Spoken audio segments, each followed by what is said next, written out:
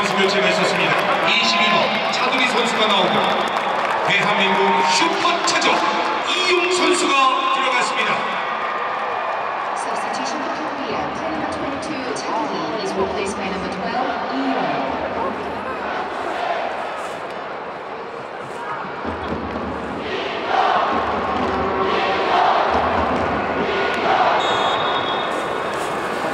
코스타리카 팀에 선수 교체가 있었습니다. 7번 다비드 라미레스 선수가 나오고 9번 알바로 사모리오 선수가 들어갔습니다. Substitution for Costa Rica. Player number 7, David Ramirez, is replaced by number 9, Alvaro Saborio.